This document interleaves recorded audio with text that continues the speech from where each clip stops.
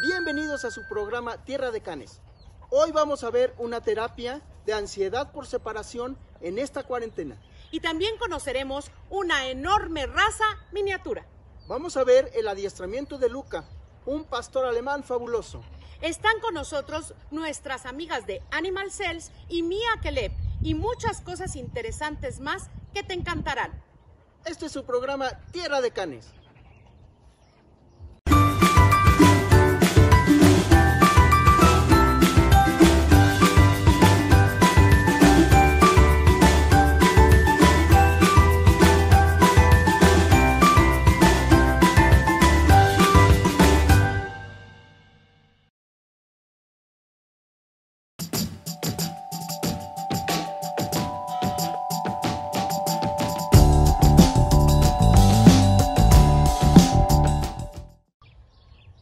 Iniciando un programa más aquí en las instalaciones de Tierra de Canes, en esta cuarentena.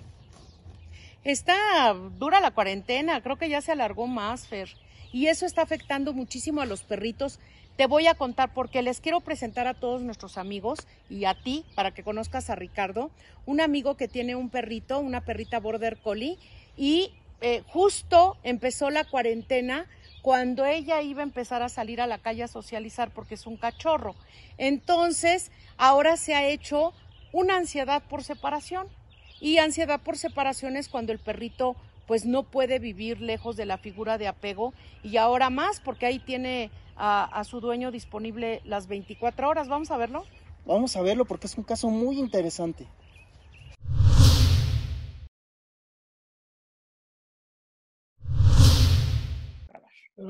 Oye, eh, hola, ¿cómo están amigos de Tierra de Canes? Pues estamos con Ricardo. Ricardo, ¿cuál es tu nombre y qué perrito es el que tienes? Hola, a mi nombre es Ricardo Campos. eh, tengo una perrita, Border Collie, Ajá, de pas- cinco meses y medio. cinco y medio. Sí, Ok, y llegó contigo a los dos meses. sí, llegó conmigo a los dos meses este, y a partir de ahí pues tuvo su periodo de, de, de vacunación, por eso no había podido empezar a salir. Y ahorita con lo de la cuarentena pues no ha tenido su periodo normal de socializar con otros perritos. ¿Cuánto tiempo duró el periodo de socialización? O el periodo de Pues, vacunación, no. perdón. El periodo de vacunación fue como un mes y medio, a partir de que me la dieron. O sea, tres meses y medio. Sí, tuve como dos semanas intentando sacarla al parque. Ajá, Yo, yo tengo un parque muy cerca aquí cruzando la, la, la avenida, ok. este, pero desde ahí no, ya se empezó a jalar muy fuerte y a los perros les empezó a ladrar inmediatamente. Y Pero- cuando, ladraba, cuando les ladraba a los perros, ¿qué era lo que tú hacías? Pues traté de, de, de, de quedarme ahí, quieto, sin, sin jalarla, sin nada, hasta que se calmara. Ujú. Y, y ya que se calmaba, ya bueno, la, la acercaba un poquito con los perros, pero como que se volvía a poner este, como un poquito intensa otra vez. Eh, la llegué a meter ahí al, al, al parque, al, al, área de, de, de perros, Ujú. pero como que entraba muy, muy espantada y le- a los perros que se le acercaban les aventaba la mordida. ¿no? Oye, ¿y la con cuántas vacunas te la dieron? ¿Qué, qué vacunas traía? Me dieron las primeras dos, no, no recuerdo cuáles son, la, la, ¿La pupi? Sí, las primeras dos. Pero cuando lo llevé al veterinario me dijo, mira, ¿sabes qué? Como no tenemos certeza, aunque sea, venga con, con pedigrí, con todas las cosas, de donde sea, no tenemos la certeza realmente que se las hayan puesto. Entonces, vamos a dejar una o dos semanas para ver cómo se comporta y ya empezamos con este, algunas vacunas que serían como las posteriores. Y no salió nada, nada. Salía nada más de mi casa a la oficina, en el carro, Y ya. nada más. Y en la oficina cotorreaba con la gente. O sea, con la gente no es así. No, Es con la gente no. De hecho, con la gente tengo el problema de que le brinca a todo mundo. Quiere, es sociable con, la- con las personas. Con todo mundo se va, a todo mundo le hace fiesta y ya sabes, la gente pues la ve así toda bonita, toda chiquita y entonces se derriten por ella y pues más como que ella se, se, exalta y más brinca y más, luego le gana la pipí cuando la están así acariciando o muy efusivamente. Ok, aquí lo que te quiero comentar es que el primer diagnóstico de, ¿cómo se llama tu border? Risk. Risk. Ajá, riesgo en inglés. Este, de, de risk es que tiene déficit de socialización temprana. Yo entiendo que los veterinarios, yo también soy veterinario, pero que este, quieran cuidar la salud del perro. Pero con la salud mental y lo que no ocurre en el periodo de socialización es con lo que te quedas toda la vida y luego tenemos que hacer una terapia conductual que no tendría por qué ser si te entregaron un perrito bien, sano, todo, ¿no? Yo no quiero arriesgar a los cachorros a que tengan moquillo, ni parvovirus, ni nada, pero el periodo de socialización va de las dos semanas de nacidos a los cinco meses. Y a los cinco meses se cierran las ventanas de la socialización. Este periodo en el que no eh, convivieron con diferentes personas, diferentes entornos, este, diferentes perros, niños y demás, es cuando ven el déficit de socialización, o sea, no se socializó. Y, ese, y es cuando empiezan a ver los perros las cosas como si tuvieran unos lentes de aumento, como los míos, y entonces este, todo lo ven como muy grande y todo les asusta. Ven un perro, pues, porque le ladra? Porque le tiene miedo, porque no sabe qué va a pasar, porque es inseguro. Y bueno, este es el primer diagnóstico. Y ya vino la cuarentena. Tristemente estamos en esta etapa. ¿Y qué es lo que pasa ahora con Riz? Eh, bueno, por sí, como, como te decía, eh, estaba acostumbrada a estar conmigo en la oficina y aquí en la casa. Entonces, estamos en la casa los siete días de la semana, las 24 horas al día. Es un departamentito de 43 metros cuadrados. Ajá. tengo un cuarto donde está mi cama y mis cosas y otro cuarto donde está como abierto la cocina y una salita, que no tengo nada en la salita precisamente para que no destruya nada. Y, este, y tenemos un pequeño roof aquí afuera, que es la salvación. El tema es que Riz no me deja para nada. Voy al baño, va conmigo. Me siento aquí en la cocina, está conmigo. Me acuesto en el sillón, me está brincando, se me está subiendo, me está trayendo la pelota todo el día, todo el tiempo. Este, me trae sus juguetes, este, me acuesto en la cama, se acuesta conmigo, este, y ya cuando me, me, tengo que salir a la tienda o me tengo que salir de repente ir a ver a mis papás ahorita con la cuarentena que les estoy llevando unas cosas. Al súper. Mal, mal, o sea, em, regreso, a veces entiendo que me puedo ir unas dos horas, tres, medianamente entendería eso, pero a veces nada más salgo a la tienda y ya regresé y ya bajó los, los zapatos, y ya mordió esto, ya bajó un trapo, ya se hizo pipí, ya se hizo popó. Eh, eh, ahorita está en la etapa en la que ya se pipí, popó aquí en el roof, o sea, esa parte ya la entiendo. Y a veces sí se, sí se controla, o sea, pero cuando yo no, no me ve, inmediatamente como si se enojara, como si hiciera berrinche, regreso de la tienda y ya se hizo pipí, se hizo popó aquí dentro de la casa. Para mí ha sido un poquito más complicado porque mi familia siempre ha tenido perros, pero siempre ha tenido patio. este es un departamento. y, esto con lo de la pipí y la popó, desde que está Risk, nada más tres veces no ha hecho popó en la madrugada. Todos los demás días, como cerramos la puerta, pues obviamente no se puede salir al roof. Todas las madrugadas, 3 de la mañana, 4 de la mañana, me levanto a limpiarle la popó. Ahora entiendo cuando dicen que cuando tienes los hijos no duermes, pues así he estado con Es lo mismo. este, Pero ahorita sí ya, yo siento que, que, ha creado como un apego, y yo creo que de mi parte también, porque ya cada vez que me voy me siento como con más culpa. Claro. Como que ya no pues la quiero dejar porque sé que se va a poner mal lo que siente fe. Aquí el segundo diagnóstico, o sea, tiene varias cosas, este, este riesgo que vas a tomar para hacer la terapia porque tiene déficit de socialización temprana, tiene ansiedad por separación y la ansiedad por separación provoca una conducta que se llama velcro. Entonces, es lo que hace, va al baño, vas, casi, casi quiere entrar a la regadera si te vas a bañar, a desayunar, vamos a la barra. Aunque tengas que dar 10 pasos, ella va a, a donde tengas que ir. Porque este déficit de socialización temprana no le dio la seguridad que debió de haber tenido en su periodo sensible.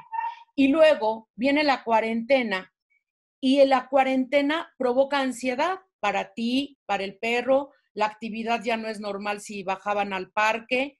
O sea, el hubiera no existe, estamos en este momento y hay que resolver que ella esté lo mejor que se pueda, ¿no? Entonces, ahorita, por ejemplo, necesita esta ansiedad por separación, no es que se enoje contigo, es que está la ansiedad, la angustia, el terror de ver que no está la figura de apego que eres tú y que vas a la tienda o, va, o bajas a, algo, a recoger alguna mensajería o lo que sea, y ella empieza a, a, saber, no, no sabe cuánto tiempo se va a quedar sola, si sean 10 minutos o dos horas. Entonces, ¿cuáles son las características de la ansiedad por separación? Eliminaciones inadecuadas, que no es la eliminación normal de quiero ir al baño, sino es la ansiedad y el miedo de quedarse sola, provocan el que elimine donde no debe del uno, del dos, de todo. La destrucción baja los zapatos porque lo que está buscando es el olor a ti. Entonces, ah, aquí está Ricardo, Rogelio. No, no está, chin. Este, todo huele a ti, obviamente, todo tu, es, ahí viven los, las dos, los dos. Entonces, no ha tenido un momento de poder decir, este, pues no estoy con él y aprender a afrontar el, el miedo. Los perros son los animales más sociales que existen y por eso hacemos grandes cosas y con un border collie, pues más grandes cosas, porque son el perro muy inteligente, pero no toleran bien la soledad. Y nosotros los tenemos que enseñar en, cuando llegan a nuestras casas a que toleren la soledad, porque pues en alguna ocasión tendrás una junta, tendrás una reunión, tendrás que ir a algún lugar, al cine, eh, en una época normal y pues no puede ir exactamente a todos lados, aunque sea tu compañera de vida, tendrás que salir con alguien, ir a tomar algo y va, ¿qué pasa? Pues sufre porque la, la separación de la figura de apego realmente le está provocando terror.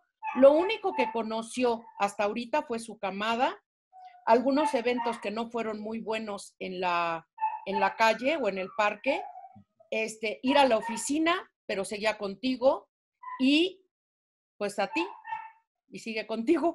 Entonces, ¿qué es lo que necesitan? A lo mejor si tú tienes ese departamento, tenemos que hacer una terapia conductual. Vamos a ver cómo, cómo nos va unos días con lo que te voy a, a empezar a decir que hagas. Y si no, también puede ayudarnos la terapia farmacológica, y también nos puede ayudar algo de aromaterapia, algo que le dé una indicación de que si te vas no va a ser por largas horas. Se llaman claves de seguridad. Estas claves de seguridad las vas a hacer cada vez que tú salgas o aunque hagas salidas falsas, que nada más te vayas al roof garden y regreses. Y todo esto te lo voy a anotar y te lo voy a mandar por, por, por WhatsApp y se lo vamos a enseñar a nuestros amigos de Tierra de Canes, qué es lo que, lo que vamos a hacer para que pues pueda estar muchísimo más tranquila, tolere bien la soledad, sea feliz, que fue lo que me dijiste, que pues creo que todos los que tenemos perros y los queremos, es la, lo que queremos, ¿no? Y que tú no te vivas angustiado y te vayas con una culpa terrible porque vas a, ir al súper o vas a ver a mis, a mis papás y te sientes que te quieres morir por haber dejado a la perrita sola y pues no, tampoco está padre que tú sufras porque también vas a provocarte ansiedad. Si ya nos está provocando ansiedad el estar este, en la cuarentena y no tener nuestras actividades, pues no, no necesitas un motivo más de, angustia, ¿no? Entonces, te voy a mandar todo exactamente lo que vamos a hacer con, con ella y bueno, pues este, pues a empezar y que esto va a tener éxito dependiendo de, lo que te comentaba, del compromiso que tengas tú y el compromiso que tengo yo para llevar hasta el fin la terapia y que el día que nos veamos en el parque, muy contentos con Risk y le podemos enseñar a que no jale. Pero desde aquí también te lo voy a, poder enseñar. ¿Va? Sí, sí, sí. Sí, como te dije, yo lo que más quiero es verla contenta, pero también estar yo tranquilo, que los dos lo disfrutemos y pues la verdad, de, de la mano de ustedes me siento como un poco más tranquilo porque a veces, fuera de broma, sí uno no sabe qué hacer, ¿no? Sí, tienes, tienes toda la razón. Y no puedes dejar pasar que venga este estado porque de verdad que puede provocar el que se enferme y está muy chiquita para tener todo esto. Eh, se da generalmente la ansiedad por separación en perros que no socializaron en su periodo sensible, en perritos que fueron abandonados, que fueron maltratados y después llevaron a un dueño, que no es el caso para nada, pero sí tiene mucho que ver la falta de socialización temprana que, que entre todas las cosas se juntaron, ¿no? Entre el veterinario que puede socializar, porque ahora las vacunas que compramos, dice afuera en la caja, para una socialización temprana segura, tú pones la primer vacuna que haya puesto el veterinario, ahí está, la princesa ladrando, y podrías haberla sacado, aunque sea a la banqueta, a ver dos, tres perros y volverse a subir, ¿no? Pero bueno, vamos a empezar a hacer algo que, este, que nos funcione. Perdón, pero no se dejaba agarrar. Aquí está, mira. Hola. Ay, qué bonita. Hola, princesa. Hablan Hola, hola. Ah, está bien bonita. No, no, pues vamos a echarle muchas ganas y este y todo esto nos debe de salir muy bien. Sí, sí, sí. Muchísimas gracias. No, yo, compro eso y este lo voy grabando para ver cómo te lo voy mandando. Para ver qué va pasando. Bueno, Rogelio, pues muchas gracias. Ricardo, Ricardo. Ricardo, me volví loca. Ricardo, que estés muy bien y este y, y va, pues vamos a hacerlo. Igualmente, muchas gracias. Bye. Bye. ¿No? Me quiere morder.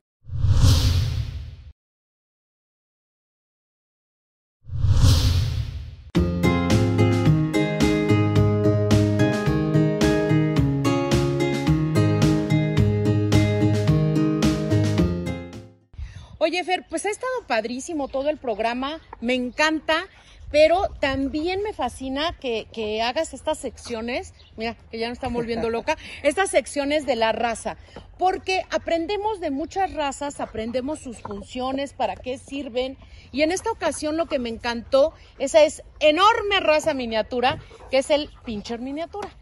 Es una raza fabulosa porque la verdad es que además de que es hermosa, elegante, fuerte, resistente, y es una miniatura, pero una miniatura que es enorme. Nosotros amamos mucho esa raza porque tenemos dos. Tenemos dos, teníamos tres, pero bueno, así es la vida y nos encanta, nos encanta. Vamos a ver el Estamos hablando del pincher miniatura.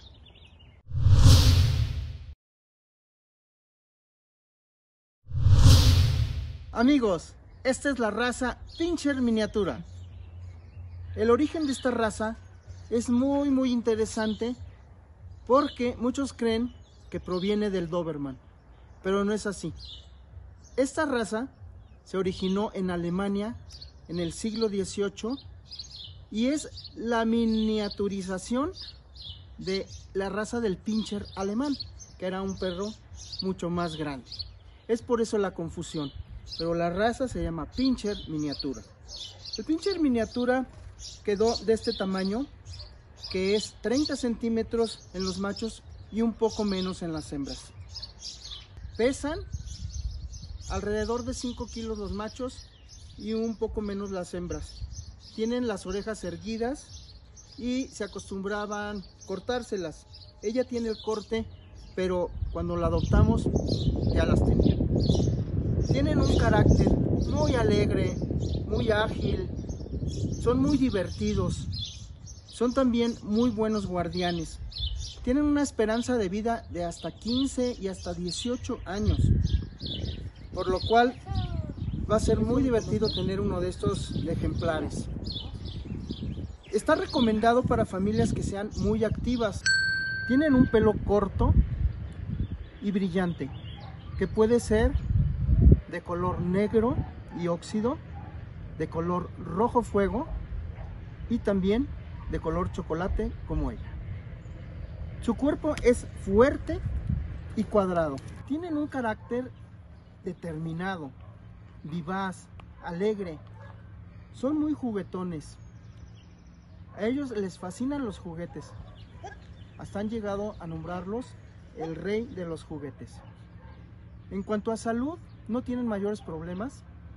Solamente la luxación patelar, que es cuando uno ve que como que cojean así cuando, cuando trotan. Pero en realidad son pocos los cuidados también que tenemos que, que tenerles. Son muy fuertes, muy muy fuertes. Aunque en realidad sí, por su tamaño tenemos que tener cuidado de no pisarlos y ese tipo de cosas, sobre todo si conviven con niños.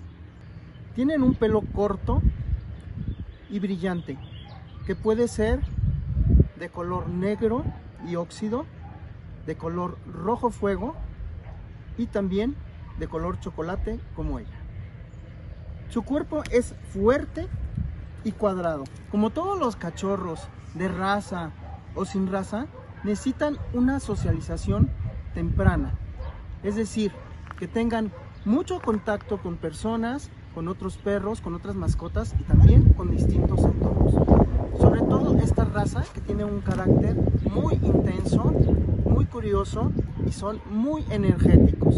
Esta es una raza que está muy recomendada para personas activas y para familias que también les guste una raza activa y muy divertida. Aun cuando vivan en un departamento, pues ellos no necesitan mucho espacio, pero siempre gozarán de un paseo al aire libre. Ellos también requieren de ejercicio porque uno de, las, de los problemas que tienen es que tienden a engordar. Por eso siempre recomendamos un buen alimento, un alimento premium y una dosis medida. El promedio de vida del pincher miniatura es hasta más de 15 años. O sea que imagínense la bendición que tenemos con un pincher miniatura.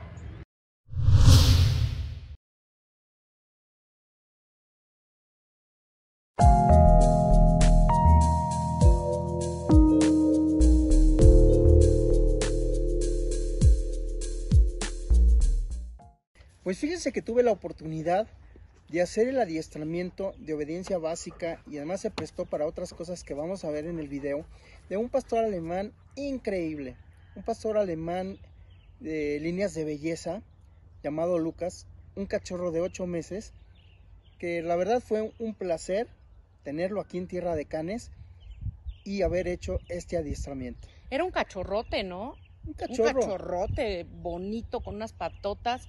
Y bueno, agradecemos mucho la confianza que tuvieron a los dueños, a Manuela Bascal, a los Manueles y a toda la familia Bascal. Sí, y quiero que particularmente se fijen en los movimientos extraordinarios de Luca. Vamos a verlo.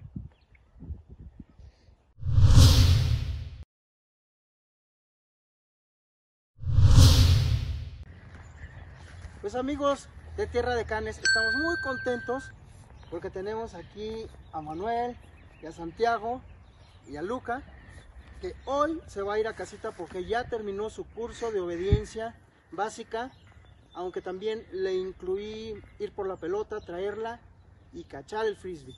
Y también alguno que otro truco que van a ver más adelante.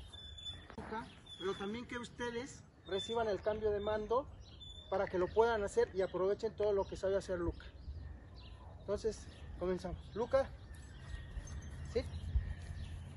Bien. Sit. Bien. Luca. Here. Bien. Here. Here. Here. Here, here, here, here, here. Here. Bien, sit. Here. Sit. Here. Sit. Sit. Bien. Down. Bien. Ahí está. Ahí está. Down. Sit. Down. Stay. Sit. Bien. Ahí está. Luca. Stay. Bien. Bien. Bien. Eso. Stay. Bien. Bien. Stay. Bien. Down. Bien. Ok. Ok, ok. Bien. Down. Bien. Álame. Álame bien. Hip. Down. Bien. Álame. Bien. Y así. Y eso es lo que aprendió Luca con el frisbee. Luca. Sí. Bien. Bien, Luca. Bien. Bien. Eso.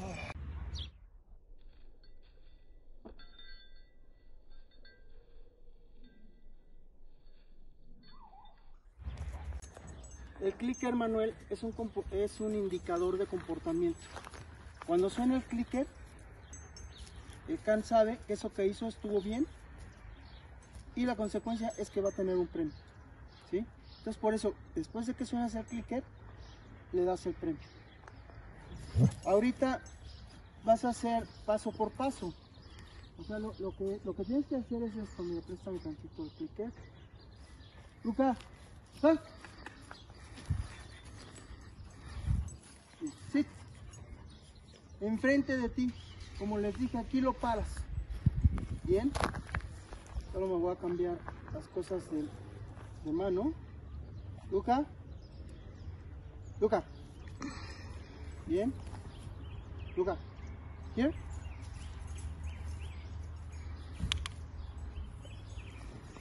Sit. Sit. Bien. Come.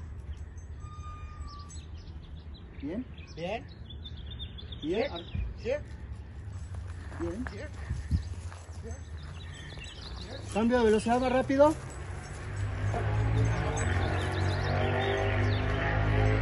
Suave. Clic. Frame. Super. Come. Sit. Luca, sit. Here. Sit. Here. Ahora espacio. Here. Here. Clic. Dale premio. Ya una vez sonando ya puedes parar. Bueno, muchas gracias a todos los miembros de Tierra de Canes. La verdad nos vamos muy felices con el entrenamiento de Luca. Después de cinco semanas de entrenamiento intensivo, pues la verdad notamos un gran cambio en Luca. Ya se tranquiliza un poco, ya obedece, que era algo con lo que estábamos batallando. Y pues la verdad es 100% recomendable. Y muchas gracias, Fer, Maru, por toda su disposición y estar siempre pendientes de, de Luca y de nosotros que estuvimos pregunta y pregunta cómo estaba. En verdad siempre se los vamos a agradecer y vamos a seguir con ustedes avanzando con Luca y viendo cómo mejora cada vez más. Y aquí nos vemos en el siguiente curso. Muchas gracias a ustedes.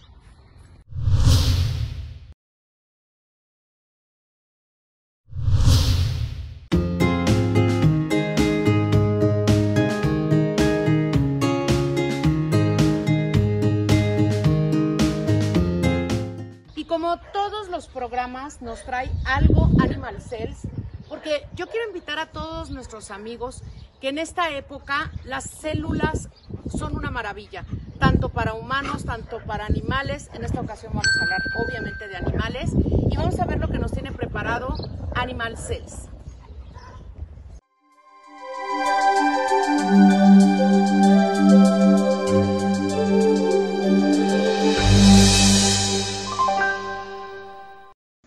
Buenas tardes, soy el doctor César Galaviz, médico veterinario de la Ciudad de México y quiero compartirles mi experiencia con el tratamiento de células madre en pacientes con insuficiencia renal. El primer paciente es Conan, es un pastor belga Gronendel de 10 años. Eh, fue diagnosticado por su médico el día 12 de diciembre. Acudieron conmigo a consulta eh, de asesoría nutricional y eh, pues yo les pedí los estudios y me comentaron que ellos ya estaban pues poniendo, aplicando las células madre en Conan. Posteriormente, pues le di seguimiento al paciente y estos son los resultados.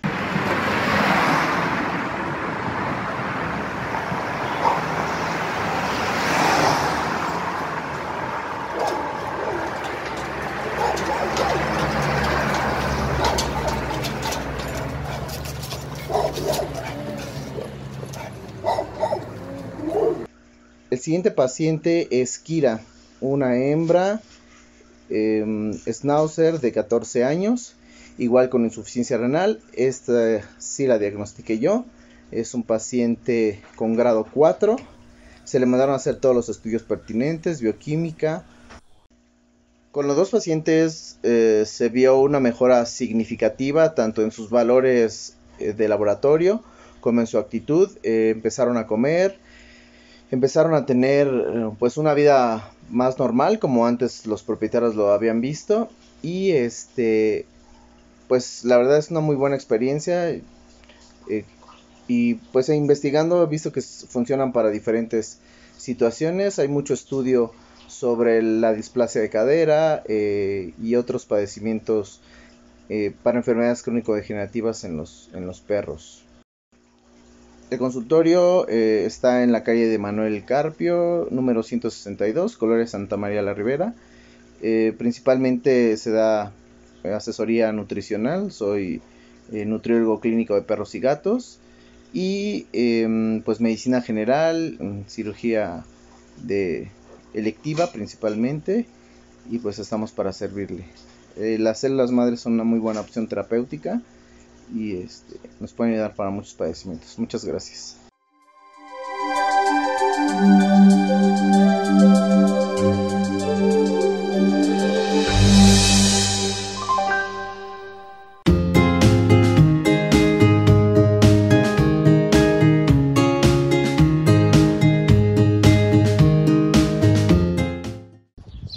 A pesar de esta temporada de contingencia, pues la verdad es que sí, hay que ingeniárselas y, nosotros pues tenemos la gran ventaja de poder seguirles llevando a ustedes este programa que, nos divierte mucho, que a la vez nos hace también aprender mucho de razas, de, seguir actualizándonos en adiestramiento y practicando y todo, ¿no? Sí. Pero, me gusta. ¿Verdad que es padrísimo? Sí, me gusta. Y lo hacemos con mucho gusto. Sí. Lo que yo quiero es que compartas, bueno, todavía no vas a compartir, ¿verdad? ¿Cuál es la sorpresa que tienes para nuestros amigos eh, con estos productos que formulas tú de aceites esenciales y, todo, todo esto? Tenemos una sorpresa para nuestros amigos viendo la necesidad que tienen todos nuestros perritos en esta cuarentena. Eh, diseñamos un producto que el otro lunes ya les vamos a decir qué es. Estén al pendiente, entren a nuestra página, síganos en YouTube porque eh, así les va a, a suscríbanse al canal denle la, campanita para que se les llegue primero la notificación. Cuéntame cómo es lo de YouTube. Espérame, mira, porque la verdad sí yo soy bien youtuber Eh, denle like. Denle like. Suscríbanse. Ajá. Y denle, este, activen la campanita para que sean los primeros en que les lleguen más videos y se enteren y hagan sus comentarios y nosotros podamos contestarles. Claro, díganos de qué quieren que hablemos y con gusto lo vamos a hacer. Pero no se pierdan